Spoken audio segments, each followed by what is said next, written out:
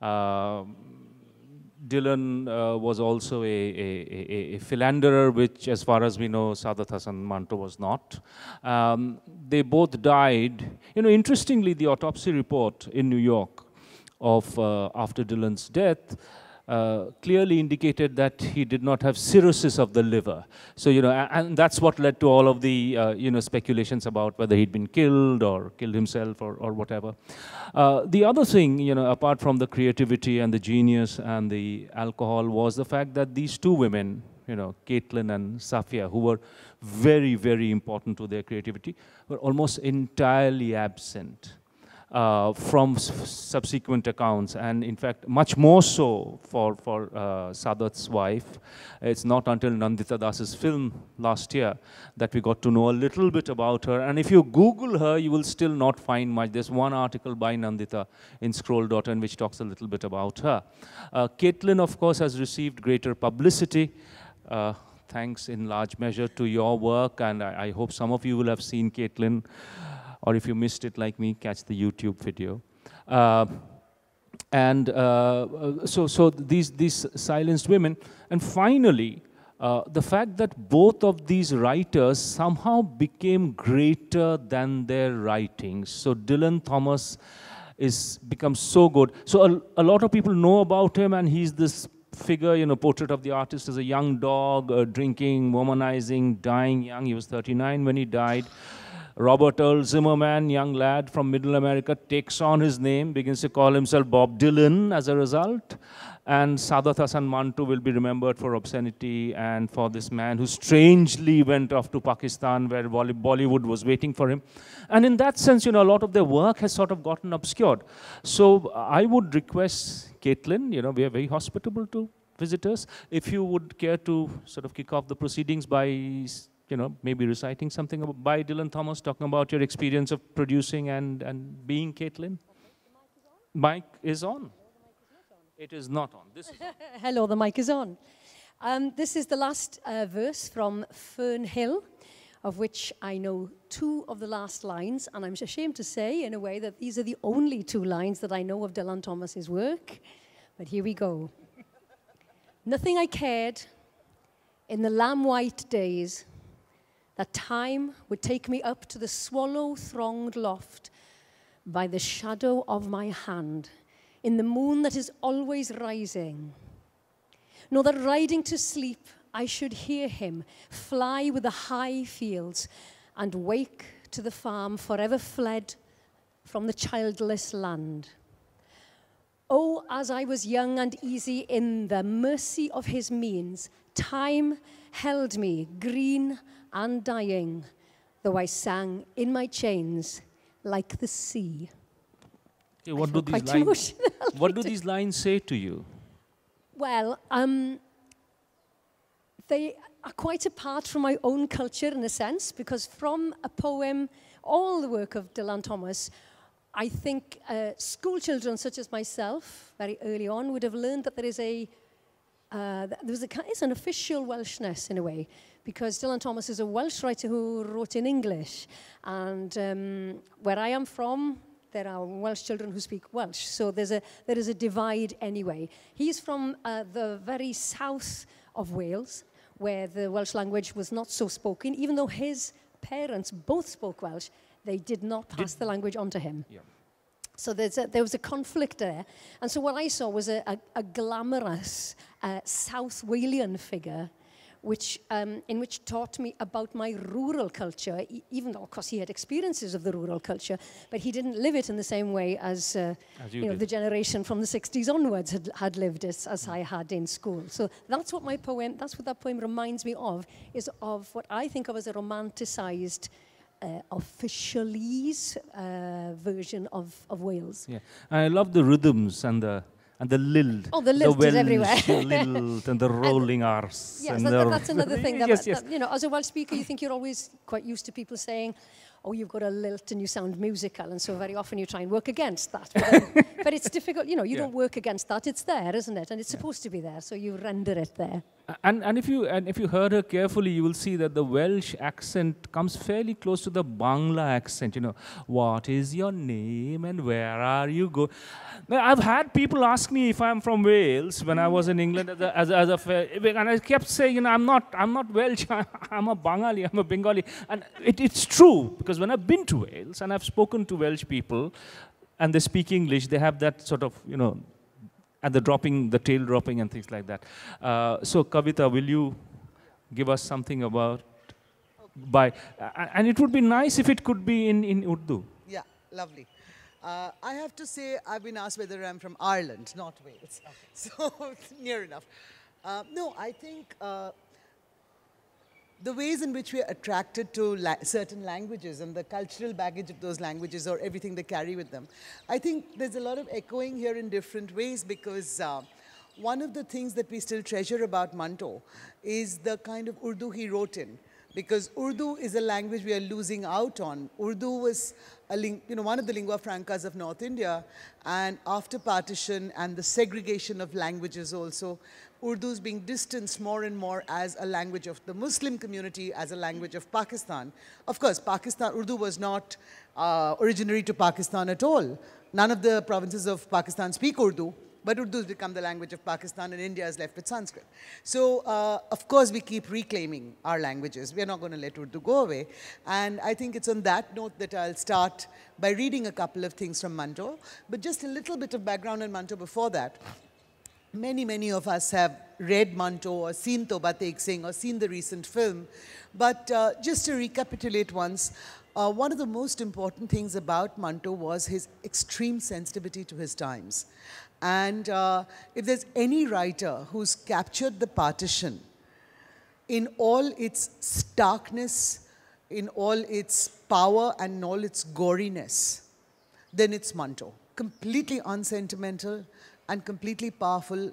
It's from the gut and it hits you in the gut. So uh, I'm going to read out a little bit from this book called uh, Black Borders, which is actually Siyah Hashiye in Urdu. And I've got these old-fashioned things called books because they're nice to hold and they've got lovely and all that. But given this breeze and the fact that these are very well-used books, the pages are going to fly. I'm going to turn to my phone because I've got them here. So uh, I'm going to start with the epilogue to this book. And this book, uh, Siyah Hashe or um, Black Margins, Black Borders, is actually set in the times of the partition. And they're little snippets of what Manto witnessed and what he, him writing about what he witnessed.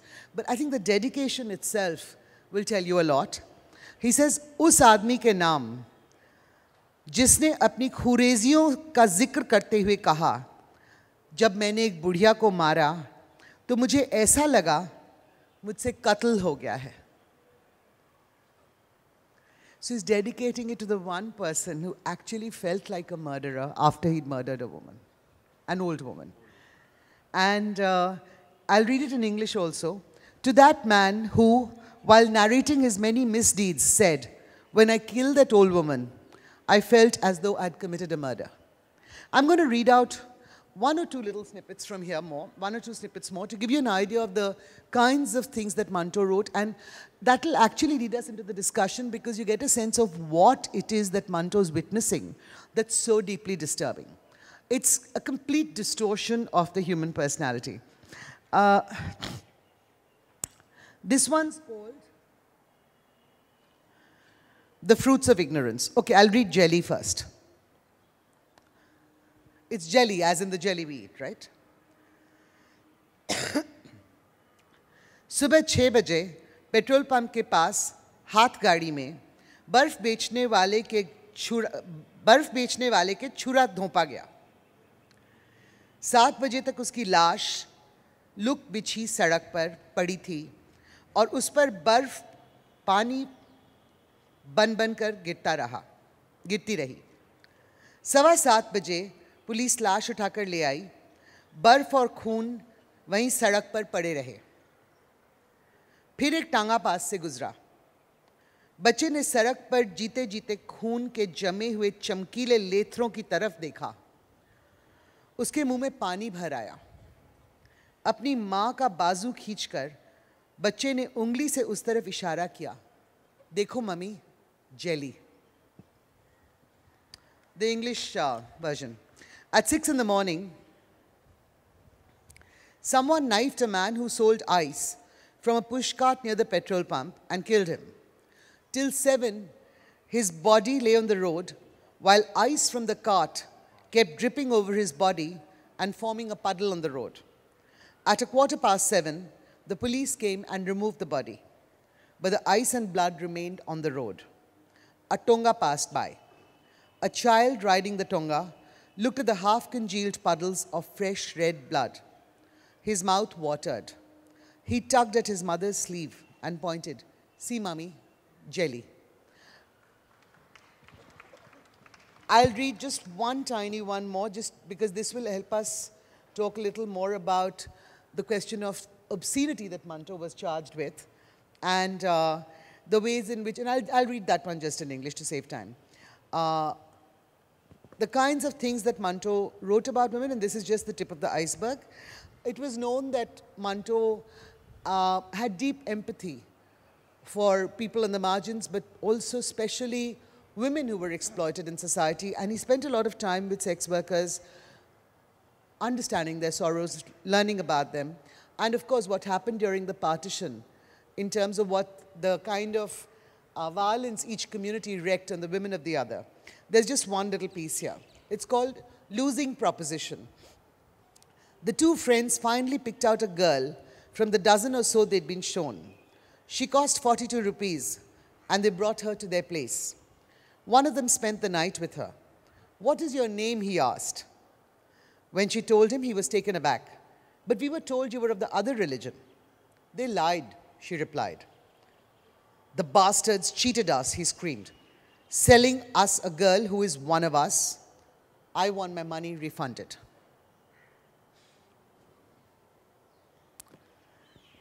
Um, very difficult, uh, and, but I think it, it tells you, uh, gives you a hint of the sort of things that art can do or literature can do, which you cannot always do from mere uh, history, as it were. And uh, when I was asked to, to sort of, you know, babble in this session, uh, I was thinking of uh, Dylan Thomas's poetry. He's one of my favorite poets. And I thought of one called Clown in the Moon. Have you, have you heard or read Clown in the Moon? It's a short poem. And the reason why I'm also joining the, the poetry recitation uh, uh, competition here is because A, it's short, and B, in a sense, it also, it could be a description of Manto by Thomas. And this is like, it, it goes like this. My tears are like the quiet drift of petals from some magic rose, and all my grief flows from the rift of unremembered skies and snows. I think that if I touched the earth, it would crumble. It is so sad and beautiful, so tremulously like a dream.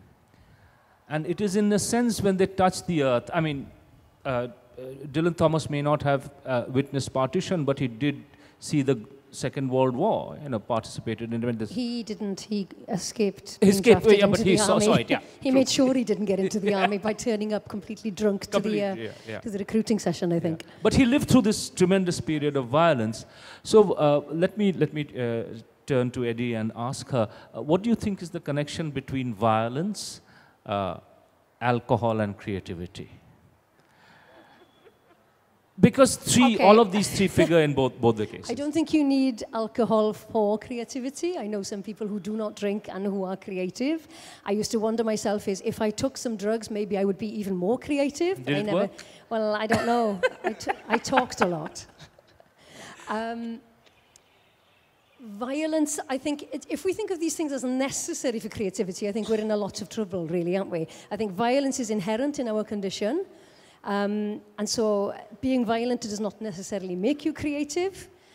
Um, I think alcoholism, uh, alcoholics that I know tell me that it does not help them in their lives whatsoever. Um, they, they think of it as an evasion of responsibility in a way, or of actually getting on with, with your life. And I think with Dylan, I think it's, although we don't believe in geniuses landing on you. I think his talent in some sort of way does land on him. And as Caitlin herself says, the mix of his talents or the mix of his background might not have resulted in Dylan Thomas. It might have resulted in someone who could write his name with a cross on the paper just because his parents were who they were. But I think, I think his, his, his talent is probably a, a, a stroke of luck, as she said. Doesn't make it any, any less valid. But I think if we think that there's a recipe of violence and uh, what else No, was it, I- I- alcoholism that will lead you to creativity, No, I'm, you know, I, you know, uh, Eddie. I, when I use the word violence, I don't mean it in a literal sense, like of bashing someone up. Because what I find, something else which is common to both Manto and uh, Dylan Thomas, is that they were able to reshape the language in ways. You know, I'm thinking of a poem like "Do Not Go Gentle into the Good Night" or whatever. So, so it, it, you know, it, it was what Eliot says in I think tradition and the individual talent that a poet, if necessary, must you know break the language with violence in order to, to convey meaning. I think this, um, I think we're straying now into this world of patriarchy where we think of if something has to be achieved, it's got to be broken. Just like when they talk about women, when they're supposed to be broken. At the, No, you know, in, you know, like why, why are these things? This, this is entirely. Let's break in. Let's break it apart. Let's reform it. Let's break it again. You know, and I think. Um, Obviously, I'm brought up in that tradition. I don't know anything else apart from breaking stuff up. But what is what else is there that can lead us that, that does lead us into creativity, but that we still keep terming it as violence. So why is reforming language, why do we think of that as a violent thing rather than it happens or something, you know? We think of it that we have to be so actively engaged in shaping it into something else. Um, I, I, I, I, just think that we are, um, we're we're products of our time in thinking that, aren't we? Right. Uh, how would you respond to that? Because I think that women uh, too have to, you, you know, when there are structures such as patriarchy and you're, you're reacting against it, in a sense, you have to commit violence, although that may not be the violence that, that is, you know, normal to us. I mean, women who have broken through, and, they're, they're, and Kavita has done incredible work on the silenced voices of women in Tebhaga. Uh, you know, how would you respond I to that? I think I'll um, locate this uh, closely in Manto's own life and go uh, first to the whole question of uh, violence that's not physical violence, but uh, the violence that people inflict on each other, which there was incredible amounts of during the partition because the first, the first violence that took place with words was the ways in which meaning changed drastically. And uh, this came out even in the little epitaph that uh, epilogue that I read out, where the guy who's killed a woman says, "I think I've murdered somebody," meaning that generations lost out on the meaning of what murder means, at least the ones involved in the riot. Or uh, when the little kid looks at this gooey mess and says it's jelly, right? So the meaning of words has been violently transformed already. But the, what's also happening is uh, people's relationships with each other are transforming violently. Manto's closest friend in Bombay, when he was working in uh, Bombay cinema, was uh, a star called Sundar Shyam Ahuja, Sundar Shyam Chadda. They were really, really close, and they'd gone to meet a Sikh family from Rawalpindi once. And this family sat there and narrated to them the absolute horrors that they'd been through in finding their way to India. And uh, Sundar himself was from Rawalpindi. He was very disturbed when he heard all this. When they were coming back, Manto turned to him and said, If I'd been a Muslim, I mean, if, if, if I'd been a Muslim, you didn't know. And if I'd been there, would you have killed me? He's, this guy looked at him, his closest friend looked at him and said, Yes, then maybe I would have, not now. And Manto says his response was, I could have killed him right then and there for saying that. This was a man I loved so dearly. And that shook him like nothing else had that, that far. There'd been a slow erasing, a slow eating away of his self. But that, at, with such an intimate friend, that probably was the turning point when he realized the psychological bloodbath that had taken place within people. And that's what made him leave for Pakistan ultimately, where he was unhappy. He loved Bombay. And he was very, very active in Bombay with All India Radio, with his editing of newspaper magazines, with his uh, film scripts, film writing, etc., etc.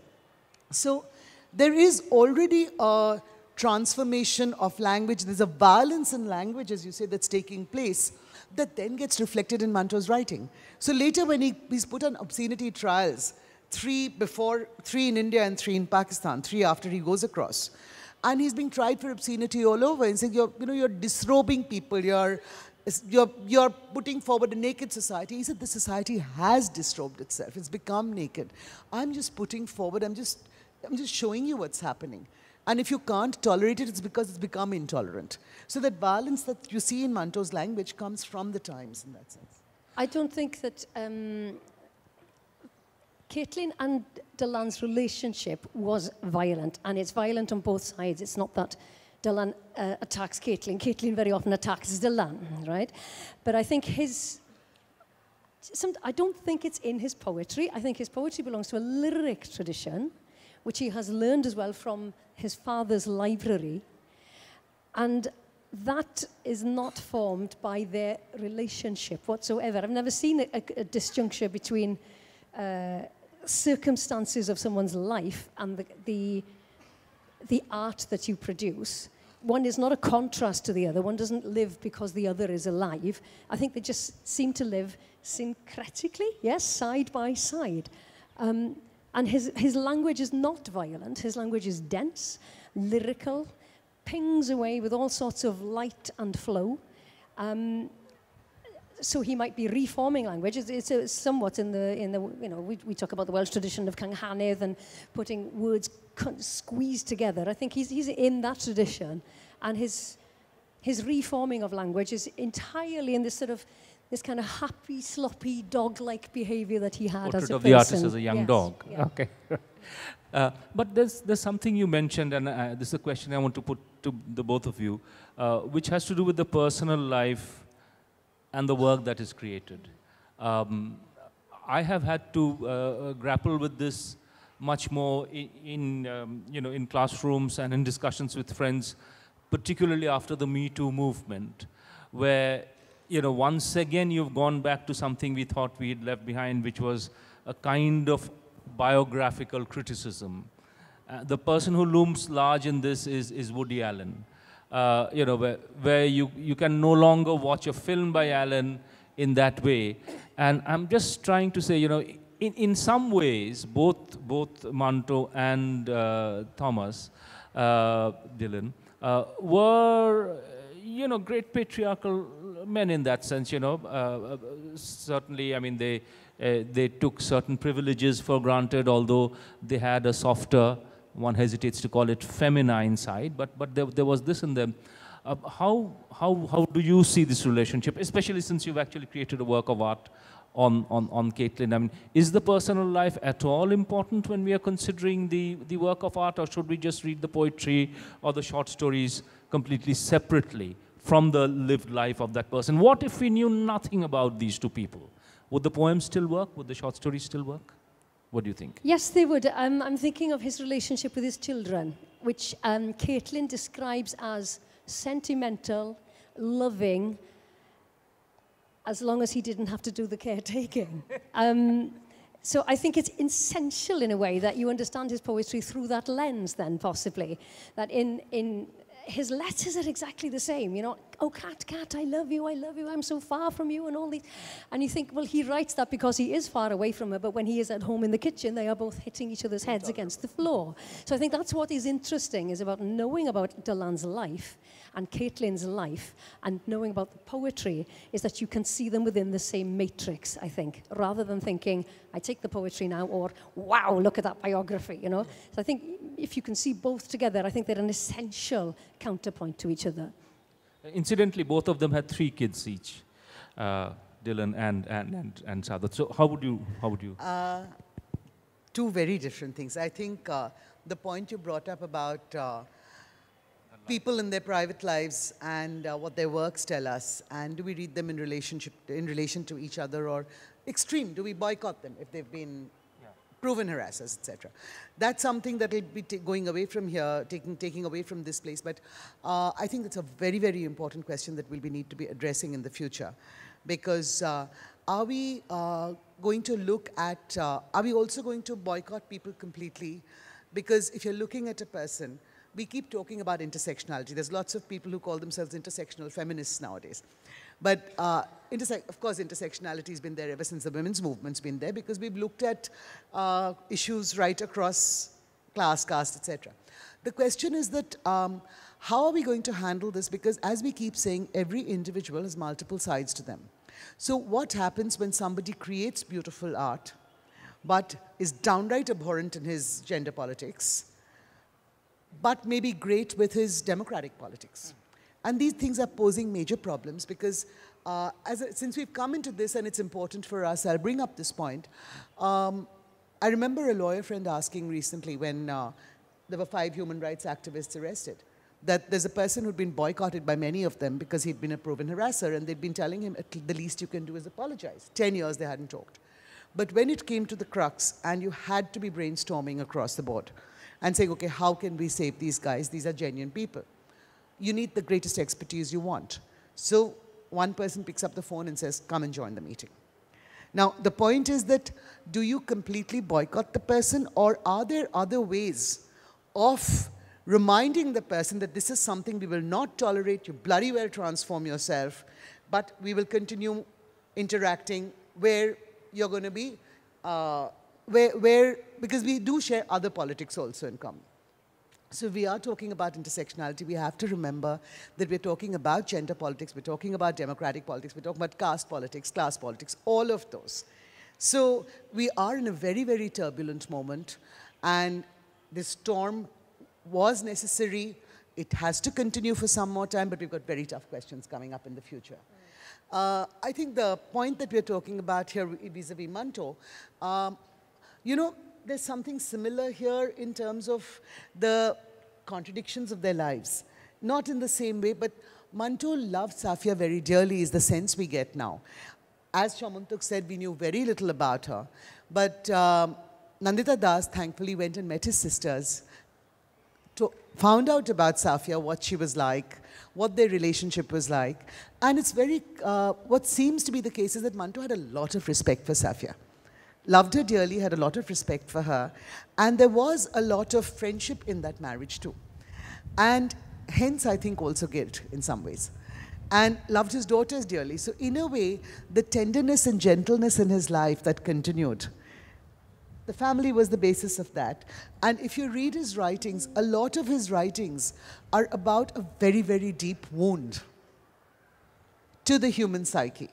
So where does that sensitivity come from? It comes from a rooting in relationships that are very precious. So I think, uh, yes, Manto was very upfront. He was almost brutal in his writings, but he wasn't brutal in the sense of he was creating the goriness. He was just reflecting very dispassionately, very objectively what's happening. But the fact that he could do that with such restraint, without um, sugarcoating it is because I think he needed the wound to show. Yes, and he needed people to understand what they were losing out on. So I think there's a very complex relationship between his love for his wife and his daughters and the way he writes. Yeah. I think so. We've come, to, this is very interesting to me because it seems to me that on the one hand, you've got a man who had a very brutal, violent marriage in real, you know, in real terms, you know, violent with his wife, kids, and so on, and who wrote this very tender lyrical poetry. And you've got another man who's got this very tender lyrical relationship with his wife and kids, who writes this very brutal stuff. You know, I think and is still insensitive to his wife and kids, and, you know, and is still insensitive he, to his wife and kids because he, he's putting them through hell through his alcoholism and through his yeah, uh, yeah. wanderings. Yeah. I was going to come to the alcohol bit now. You know, uh, you know, maybe we make too much of al alcohol and maybe we read too much into to, to, to the alcoholism, uh, you know, whether of a, a, Dylan Thomas or a Hemingway or, or, or, or F. Scott Fitzgerald or a Manto or, or whoever. Um, but tell us about your experience of creating Caitlin. I knew more about Caitlin.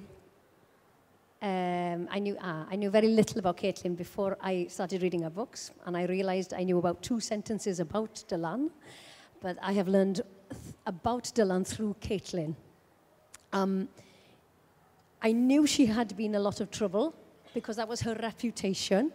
And in reading her book, especially Double Drink, the story of her marriage with Dylan and with alcohol, um, it gave me a real perspective on her because she has a real perspective on herself. Um, it was really valuable in that it gave us the format. Um, in, the, in our production, we have an AA meeting. It's through that frame that we begin to understand Caitlin and that we begin to understand Dylan. Um, it's entirely confessional and it's entirely very, very um, she understands herself really well in a way that I think possibly that Dylan might not have understood himself very well. He died when he was 39. She mm-hmm. died when she was 81, 80, I 81, think. Yes. And so she'd had mm. 20 years in sobriety to understand her and to understand her marriage with her husband. That is the, the thing that we try to reflect in the show, but we try to talk about it from Caitlin's point of view to the extent that Dylan only has two words and two sounds in the, the whole show. He's Hello. Caitlin at the beginning, and uh, and uh, later on. So we were forced to do that simply because the estate probably would not allow us to use his poetry. Um, they might have, but we would have had to wait years to find out whether they would or not. And that's fair enough on the estate. We don't mind. But then it gave us then the, the stricture, the limitation of trying to make a poem in which you reflect, and make a show in which you reflect his genius and without actually displaying the thing that he was a genius for. So that, that's one of the standout marks, I think, of the show. And the other thing is, is Caitlin's ability to reflect on herself. After that, the, the, the account of their relationship, um, because it is a dance production, is entirely physical. She was a dancer, and that is why it was commissioned because of her uh, experience within the dance world. Um, so they commissioned two dancers then to make that show. Is this the kind of answer that you're looking for here when you talk about the process of making the show? Yes, yes, because uh, I, I was actually going to come to uh, the dance uh, choreography bit because it seems to me that you have three or maybe four texts, as it were. There's first the text of their lives and the alcohol and the violence. Then there are the texts of the entire oeuvre of Dylan Thomas. And then there's your text. And the three have three different languages. Uh, one is words, obviously, the poetry. One is, you know, narration, events, houses, broken cutlery, smashed bottles of alcohol, the dead body on the slab. And the third is this physical thing that you do on stage. How much of the, the movement of the poetry, if you like, went into creating the movements? And because you use a lot of the floor, don't you? I mean, you know, lying and, you know, touching, sitting on the chair, and, and so on and so forth. You know, that I might, I might describe to the audience really what, what we're talking about here. We're talking about chairs and we're talking about floors. It's a circle in which there are 40 chairs, but only 20 of them are sat on by the audience. The rest are for our use as dancers. Um, and because it was a meeting, and because it's an AA meeting, and because you sit and confess, that's the starting point. The chairs then are used to throw around, smash, uh, represent prams, represent hangovers, represent sexual revenge, all of those things. I would say that the poetry hasn't influenced any of the, the choreographic movement at all.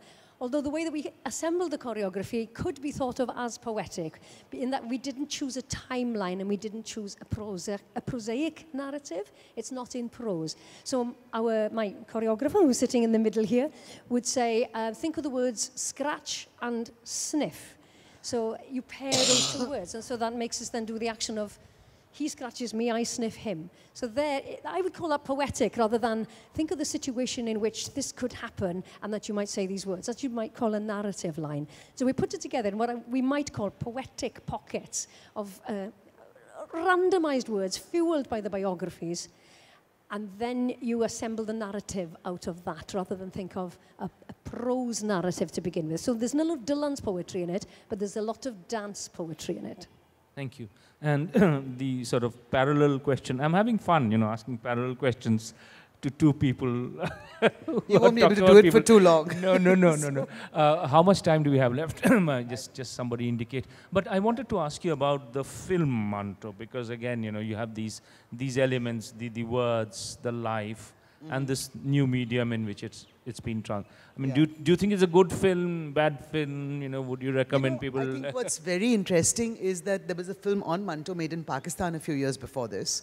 And that one focused on his, I haven't seen it, I couldn't bear to see it because I uh, downloaded it the very same day I'd seen this Manto. And that one was in a completely different mode and it was about his alcoholism and his uh, tenure in the psychiatric hospital. So I couldn't sit and see Manto in a psychiatric hospital after having seen Nandita Das's film. Uh, I liked the film because, uh, for various reasons. One is I think uh, it actually went, she took the trouble of researching Safia and bringing out in more full-blooded form Manto's life in terms of his relationships. Another one was that uh, she actually uh, interwove, interwove the, uh, the scenes of the stories, Manto's stories and Manto's times. So you get a strong sense of how his stories are actually reflecting his times. So there was a lot in the film that I liked, but um, I think what I would like to actually come back to is the question of alcoholism and creativity, since we're talking about the Pakistani film being based in the psychiatric hospital. Uh, psychiatric hospital, alcoholism, psychic disturbance, psychological disturbance. I think um, there's a very, very deep historical grounding to all of this. This was no ordinary clinical depression that Manto was going through. This was no ordinary anxiety that he was going through. If we look at his life, he witnessed the Janya, he was seven years old when the Jallianwala Bagh took, incident took place. It impacted him deeply. He was in the throes of the civil disobedience movement and its excitement and its hope and its joy. What follows after that? You've got the partition and complete bloodbath. After that, the carnage, the communal carnage. Then he has to leave. I mean, I talked about his relationship with his friends, etc. He goes to Lahore. Wrong time to go to the Lahore film industry because most of the people from the Lahore film industry have come to India. That film industry has been deserted. So economically, he's a mess.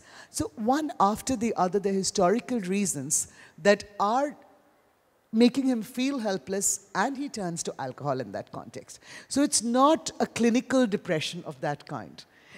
Which is what's also very telling is that his most famous story, one of his last, Toba Tek Singh, which has been you know, rendered into several performances, films, etc., was written while he was in the psychiatric hospital. So his alcoholism was something he turned to to deal with his deep turbulence inside him. But that alcoholism was not something that stymied his creativity because some of his masterpieces are coming out at that time. So I think you know, I'd be very wary of uh, those who actually say Manto had major psychological problems. They are historical problems that he's dealing with, and historical problems of a very great magnitude. Of course, they, im- uh, they uh, impact the psyche, but this is not a hormonal problem. So I'm saying that um, yes, alcoholism, I mean, alcohol does release one's in, uh, inhibitions. They cognitively disinhibit you. Alcohol cognitively can disinhibit, disinhibit you. You can write more freely. All of that is there. But I think here this was a man who was turning to alcohol to deal with incredible horrors of his time. Horrors that could not be spoken, actually, and he was trying to speak them. So um, I think the film cannot show those horrors. It took 50 years for the first film on partition to come out, except for Garam Hawa, which was shot indoors. Mammo, Earth 1947, all the films that talked about the carnage, that depicted the carnage, had to wait 50 years to come out. And even today, I don't think we're ready to see the horrors of carnage that actually took place because they are unprecedented on this subcontinent and in a large part of the world. So he was dealing with something very, very immense, and it's incredible that he could exercise the kind of restraint he did in his writings to create what he did in that context. Thank you. I think we have time for maybe a, a couple of quick questions from the audience. Um, unless you want to say something more. No, I'm fine. Okay. A couple of questions from the audience. Do we have time for that? Okay, great. Thank you. Yeah, questions. Yeah. Sir, uh, I want to ask both ma'am about uh, Dylan Thomas one poem that is the In My Craft or Sullen Art. Over there, uh, Dylan Thomas is mentioning that Salenut uh, is not about anything divine. It is about the pain, uh, pain is about the grief-stricken process. So how much is it related with the Manto's life if we compared the both of them? I, I think this is your. Uh, I don't Remember this poem? no. As I said, I'm not a student of Dylan Thomas, really at all. So I mean, I'm, this a way of, it's not a way of avoiding your question. But uh, my, my specialism, if I have a specialism, is Caitlin, really. So I can't answer questions about his, his craft and his poetry at all, I'm afraid. And I love some Dylan Thomas poems, but I haven't read a lot of them. And what I did, I read many, many years ago. So I'm sorry. This is one I can't refer to. Oh, I'm so happy that the question has gone unanswered by two. Because it never happens. You know, you have so many answers, you get confused. And now you were confused There's to begin with, you will remain confused. Good on you. Okay. Uh, someone else there? You know? I mean, I could try confusing you more, but I'm not no, going no, to just do stop, that. stop, stop. stop. There's someone else there, right at the right at the back. Maybe we should never it's the pretend to be person in experts the blue t-shirt, in yeah. things that I should not make up an answer for your question. Go on then. My question was regarding Dylan Thomas, and uh, Dylan Thomas has been known as this sort of rock star poet um, when he went to New York um, and in his other journeys in Wales, um, and he sort of laid down the foundations of spoken word poetry which we have today. Um, and a lot of his creativity came during the time of time when he was a complete alcoholic. And i guess the same goes for manto. I don't know much about him but through the conversations we had today we know that he was very troubled. He was in a very sad state of mind when he was writing. Um, so my question is is it necessary in, in terms of poetry for a person to be sad or to be in a, in a state of grief? Because we don't read much about say happy poems or, or we don't conventionally associate writers with this sort of uh, being happy people in general right Well, there are there are lots of writers like that. I'll, I'll tell you after the show. I, th- I think you're right in that he appeals, and his appeal is to a. It's, it's slightly morose, isn't it? And it's all about a certain loss, and it's all about those elements in ourselves that we, that we like to um, yearn after something. Um, I think sometimes there is a sort of cloudy grey sky quality that, or necessity that poets have to feel that they are under, or any kind of creative person. I think of it myself. I think of like, if, is, it a, is it a cloudy day? Well, yeah, I can go inside and do something. Then I can go inside and dance. You know, Today's a good day. But I, I think, yeah, you, in a way, you have to put yourself into some slightly miserable, mesmerized quality.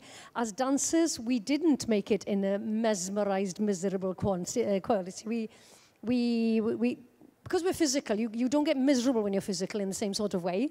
Um, and also because the, their stories were so harsh in a way that we, we spent most of our time laughing. So I think his process that you have described was quite different from the process that we experienced in describing their lives together. Kavita, your response to that? The question may carry some partiality in it. I could sit here and recite loads and loads of inspirational poems, nationalist poems, uh, left poems, romantic poems that are very happy poems or poems of, you know, collective joy, solidarity, etc. But I think uh, many of us do grow up thinking of poetry as something that's very, very intense. That's uh, because I think uh, what enables great poetry, it's an unusual experience. It's, a, it's an unusual way of understanding the world. It's intensity of experience. And a large part of our intensity is in the realm of sorrow. So I think that's probably one of the reasons why we associate uh, a lot of great poetry with sorrow or with uh, disturbance, turbulence, etc. But there's some wonderful poetry that's also extremely joyous and inspiring. I think possibly that it comes out of this romantic 19th century. And he is, of course, he is still a 19th century poet in a way. He is carried on and on, you know, up into the, into the mid-century, the last century. I'm thinking of um, some medieval Welsh poetry, which is not of this quality. And I think poets of that time, they were also looking for patrons in the same way as Dylan Thomas was. But there was a system, you know, yr uchelwyr, the high lords, they would travel between the houses and they would offer their services. This is not like the musings of an individual. They would offer their services, their writing services to that Lord. So very often you get praise poems about the, the magnificence of the house and how wonderful your family is and everything. But you also get a lot of very funny poems by yes. a poet such as uh, David Ap Gwilym, who talks about, well, the poem is called Trouble in a Tavern, Traffic Mewn Tavern, in which he describes sleeping in a tavern, having had his eye on this certain lady, trying to sneak over to her room, falling over three English soldiers on the way and being chased out of the house. And that is all the poem is about. But it is...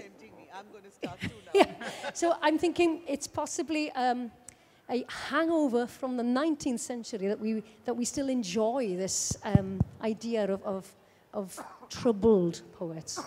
And, and with that, on that troubling note, we will have to end proceedings. I'm getting frantic. People on the home front are not good. no, no, no, no, no, no, no.